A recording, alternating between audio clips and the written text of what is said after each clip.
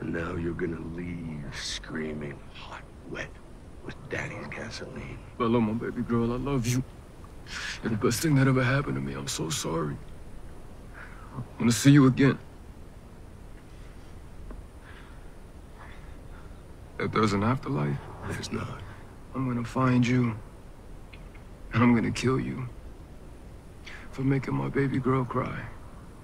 She'll adapt. And she'll be strong. Your memory just erased, scar for curious boys to trace with their fingers this moment. A whispered anecdote. This is my trauma. Love me, please. Please love me.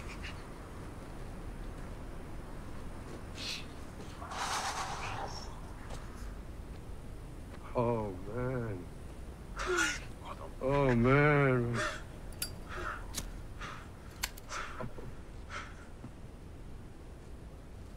This is gonna make her so interesting.